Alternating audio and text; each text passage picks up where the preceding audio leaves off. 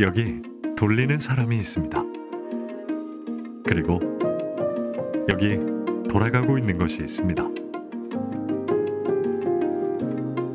다시 자연으로 돌아가고 우리에게 새롭게 돌아오는 사이 환경은 이전으로 돌아갑니다.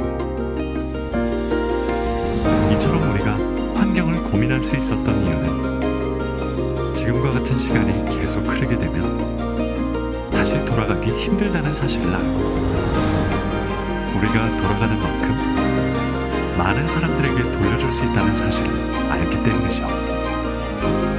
환경을 되살리고 모두에게 돌려주는 기업. 우리는 프로팩입니다.